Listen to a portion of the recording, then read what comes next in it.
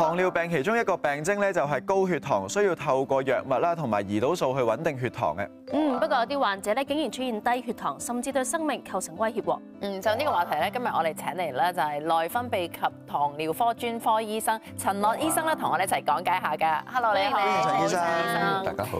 係啊，其實咧點樣去界定咧低血糖咧？低血糖咧就係當我哋誒抽一個空肚誒血糖嘅時候咧，即係空肚八小時，誒個血糖係低過四個 millimole per liter，咁就叫做低血糖啦。正常人嘅血糖咧維持喺四至到呢個七嘅呢個水平，咁啊視乎你係餐前定係餐後啦。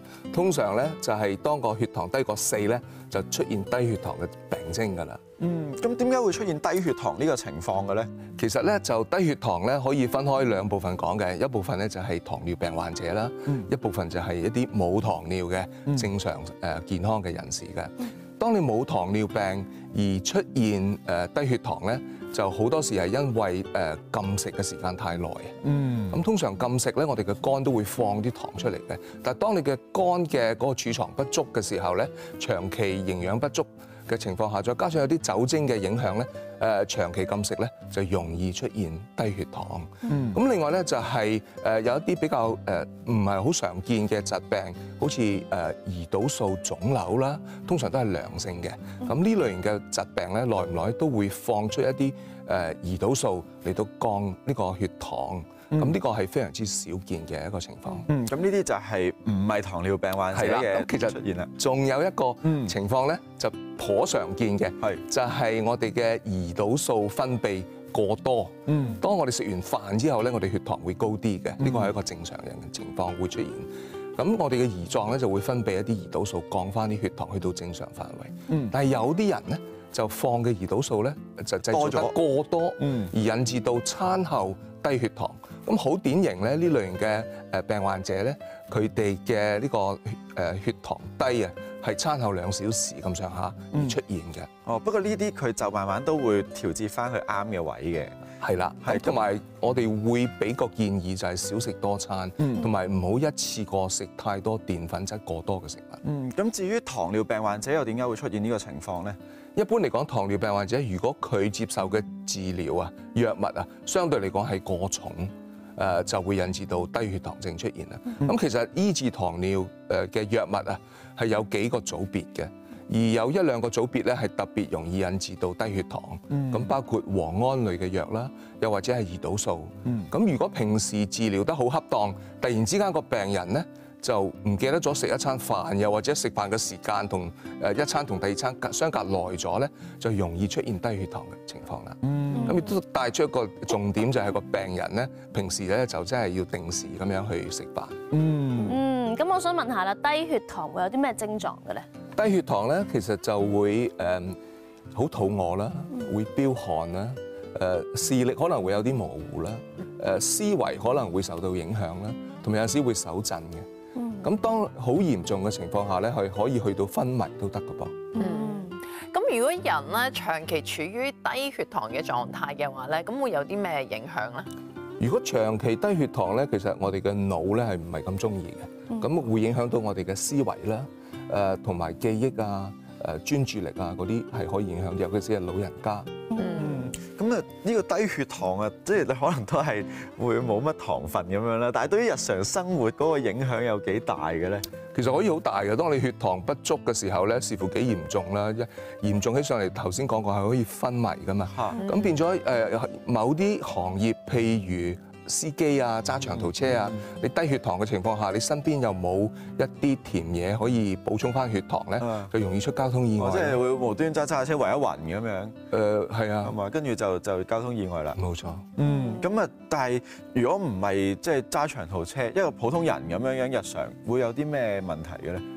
嚴重起上嚟咧，係可以昏迷咯。即係譬如呢啲係，尤其是係老人家，誒如果佢昏迷，身邊又冇人照顧，係可以好危險，又可以跌斷骨嘅噃。嗯，嗯，即係突然間喺屋企，突然間覺得低血糖就咁暈，就係完全係冇先兆嘅，係咪咁講？通常會有一個過程嘅，就唔會話突然之間暈，嗯佢係會慢慢咁樣啊，覺得有有啲神志不清啊咁樣。嗯通常都會有一個警惕，就會做翻啲嘢嘅，個個患者知道嘅。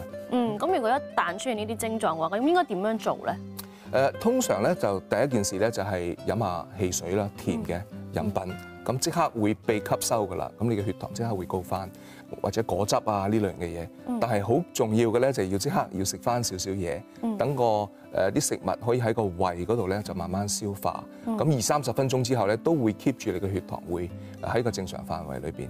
如果唔係咧，飲完糖水、飲完汽水好翻之後咧，突然之間又再出現低血糖嘅。咁但係點解糖尿病人士咧，咁佢哋咧即係自己長期處於一個低血糖會自己唔知㗎？係㗎，其實有啲糖尿病嘅病人咧，譬如用胰島素啦，尤其是用胰島素嘅治療嘅糖尿病患者啦，長期啊都係一個好正常嘅狀態，個血糖係正誒喺正常範圍裏邊。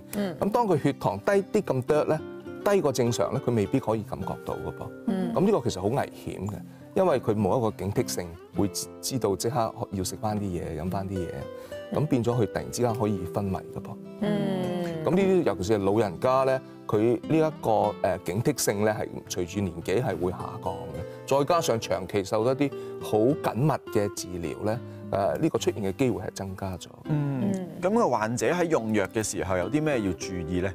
患者用藥嘅時候咧，就一定要跟隨醫生嘅指示啦，不論係口服藥啊，又或者係打胰島素啊，咁變咗佢哋生活方式咧，亦都要誒係好規律啦。嗯，咁同埋有陣時咧，有啲中意做運動嘅朋友咧，就需要特別注意啦，因為佢哋當你做運動嘅時候咧，你消耗嘅血糖係會額外多少少嘅。嗯咁如果係打胰島素嘅患者咧，舉例佢要行山喎，咁、嗯可能嗰日打嘅胰島素可能要減少啲啦。嗯如果唔係咧，都係用翻同樣嘅份量咧，佢嘅消耗多咗，變咗會容易出現低血糖嘅事故。嗯咁同埋佢哋嘅飲食咧係要好規律咯。喺咁嘅情況之下咧，就會減低誒出現低血糖嘅事故。另外要提一提咧就係酒精啦。嗯咁誒打胰島素嘅誒糖尿病患者咧，再加上飲酒，如果飲多咗嘅時候咧，亦都可以增加低血糖嘅風險㗎噃。嗯，咁我想問下，而家冇一啲新型嘅藥物係可以減低低血糖症嘅風險㗎？其實有㗎，一啲頗新嘅藥物，譬如 SGLT2 誒抑制劑咁樣啦，咁有幾隻誒呢類嘅藥物嘅，係單單服用嘅時候咧，係唔會引致到低血糖嘅事故㗎。咁、個原理咧就係佢將你嘅血糖降低咧，就係喺腎嗰度咧排出去嘅。嗯就唔係直接刺激胰島素嘅分泌。嗯喺咁嘅情況之下咧，你血糖高咗咩，就會排出去，就唔會出現低血糖嘅事故。但係如果同其他嘅藥物配合一齊用咧，咁嗰個風險係其實都係有嘅。咁但係佢單用嘅時候咧，係唔會出現低血糖嘅。嗯，咁我想問下，醫生會根據啲咩去開藥俾患者嘅咧？